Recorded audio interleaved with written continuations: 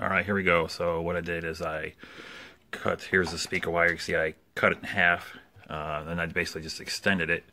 You can see it looks like some of the electrical tape came off on the end here, but I uh, twisted them together, soldered them together, and I put electrical tape around them to protect it. And then just follow it down. You can see on the ends here, just side of the tips and the ends, these are about a foot long, these cables here. And was a, a uh, hole I drilled for it. Just take off this cap. Just slides on. And then uh, let me put my phone down and I'll show you how it goes in. Now here's another quick point. I just took a, uh, Dremel and kind of routed out a little hole for the wires to run through.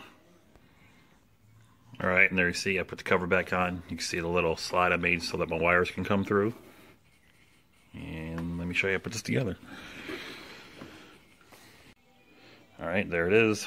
Push through the hole. Everything's connected. This tiny little nut will need to go on there. This basically just kind of holds it from being pushed back through that hole. And try to switch with hands here.